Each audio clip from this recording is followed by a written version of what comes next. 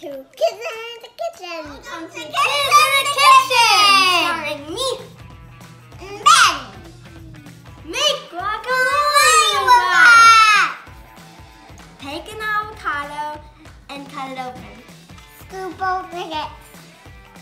And then get a one tablespoon of guacamole mix. Just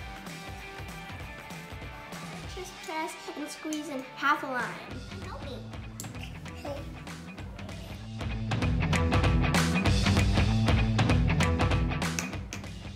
Use a meat separator and smash it up.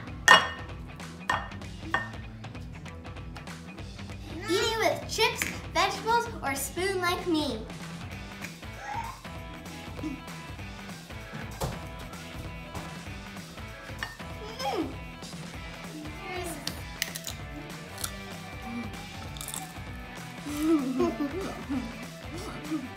Don't forget to subscribe and tune in next week.